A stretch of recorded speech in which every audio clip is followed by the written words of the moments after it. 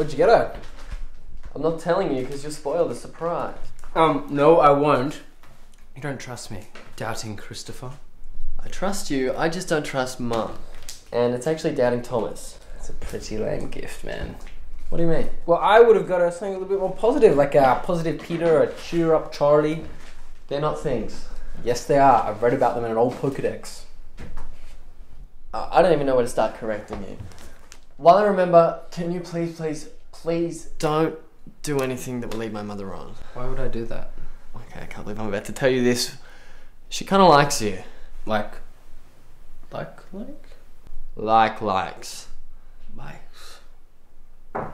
Alright, that's her. Um, please try not to say anything about what I just told you, okay? Okay, alright. Actually, why don't you hide here and I'll go get the door and then you can jump out and surprise her. Good idea. Alright, just play it cool. Okay, Okay? okay. Oh, Josh, I, I wasn't expecting to see you. And I, you. I didn't think we'd be together again. Oh. Oh, I suppose I should be asking, is Chris here? No, no, we are alone. Why don't you, uh, come inside? I've got a surprise for you. Oh. Well, we'll start the uh, morning activities soon. Why don't you just make yourself comfortable? I thought you'd never ask. Happy Mother's Day! Oh, Chris, I am. I, I thought you were out. No, I was waiting here to surprise you. Well, I'm surprised. Me too. You have looked after yourself. Josh. Josh! Chris. Chris, What? let the boy speak. Um, you. Uh, Why are you mumbling? Mm-hmm. You promised you wouldn't say anything. Really? Like what? What's that for? Should be like, like, like what? What are you talking about? Look, I know about your feelings for Josh. You know how you like like him. Oh boy. To be fair, the last time you saw him, you asked if he was single. Did you now? Sorry. And even though I knew about this interesting relationship, I didn't want to say anything because it makes you happy.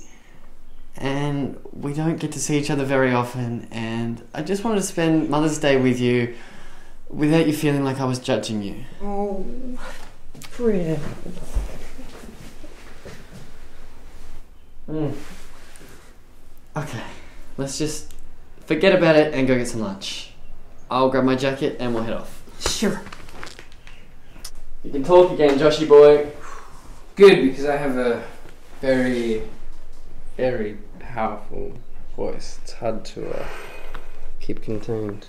Ooh. So, um, Christine, on a scale of one to ten, Nine. nine. Well, who would be a ten? There's only been one ten, and that would be Alan Rickman. Interesting. And I would be, um, A nine, a hard nine, beaten by only Alan Rickman. I could deal with that. Hmm. Hmm. Come on, Mom, let's go. I got your present too. See you, Josh. See you around. Still. You can open it in the car.